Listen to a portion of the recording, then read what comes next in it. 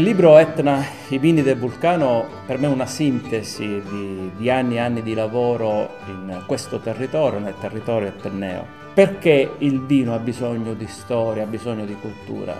Perché il vino è prima di tutto storia e cultura, prima di essere un prodotto agricolo. Riferimento principale è quella della scoperta di questa maestranza, la maestranza dei vigneri, fondata nel 1435 a Catania. E questa maestranza appuntava tutto chiaramente sul lavoro manuale e quindi sul fatto che chi voleva imparare a diventare viticoltore, a diventare vigniere, doveva in qualche modo vivere questa situazione, quindi non era solo un lavoro, ma era anche un modo di vivere. Il viticoltore, il vigniere, già nel 1435, ma in parte anche dal 2000, sa che prima di fare un, un impianto di un vigneto deve costruire una terrazza, quindi deve essere anche un costruttore di paesaggi.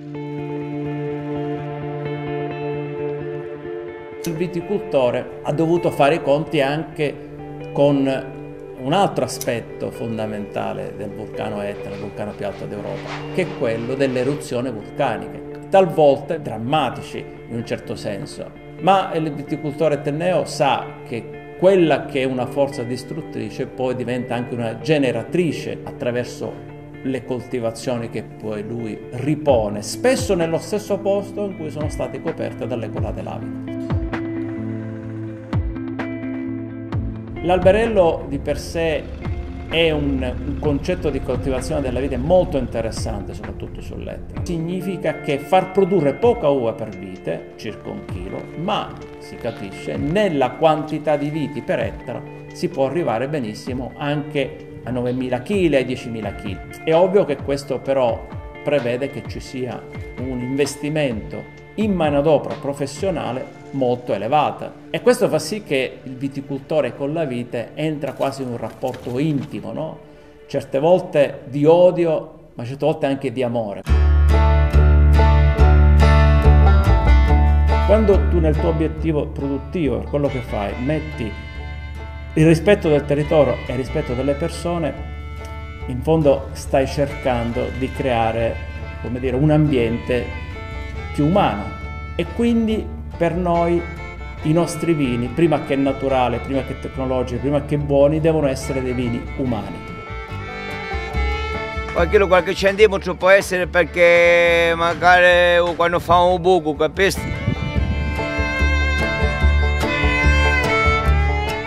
È un lavoro duro, sacrificio, perché qui abbiamo anche il clima di eccessi, un clima di troppo caldo o di troppo freddo e lavorando esternamente è ovvio che la persona ne risente di questo.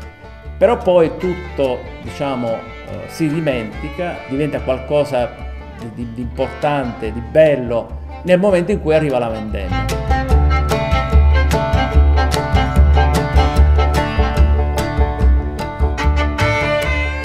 Quindi il palmento è il cuore, potremmo dire pulsante, di questa trasformazione, di questa continuità viticola attraverso la produzione del vino. Gli enologi, potremmo dire antichi, che hanno concepito il palmento, hanno capito bene anche come adeguarlo alle situazioni viticole del territorio etneo, anche da un punto di vista diciamo strutturale, oltre all'utilizzo della pietra lavica, del coccio-pesto, che si possono considerare dei materiali proprio di origine romana, no?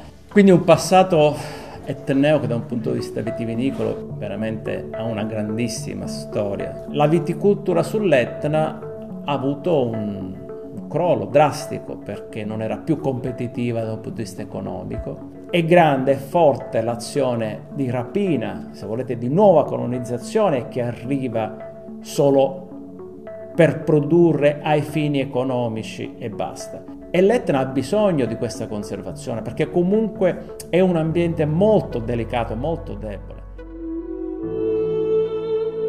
La mia famiglia mi ha dato due grandi opportunità che sono quelle di aver studiato fuori ma allo stesso tempo anche la grande possibilità di poter rientrare qui in, Sicilia e quindi lavorare per la mia terra e soprattutto per la mia famiglia. Sono contento che papà è riuscito a trasmettermi la, la sua passione che oggi è diventata la nostra passione eh, il nostro lavoro ma soprattutto la mia vita.